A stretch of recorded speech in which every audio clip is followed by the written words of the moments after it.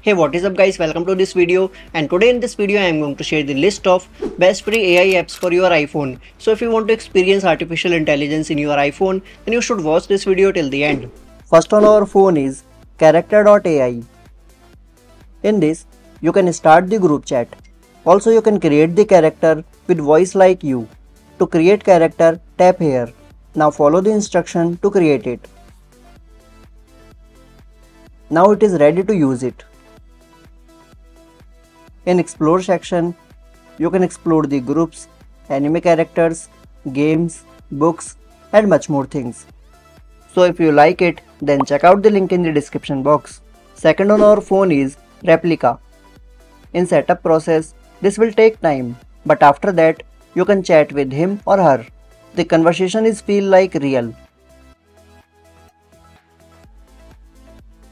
Also you can do voice call to the character.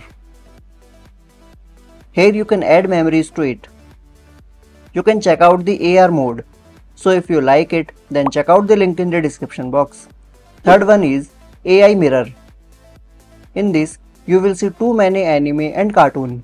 To convert your image like them. Most of them are behind the paywall. Now select the image and configure the things. Then tap on draw. After some time, the result is in front of you. Also, you can save the image. So if you like it, then check out the link in the description box.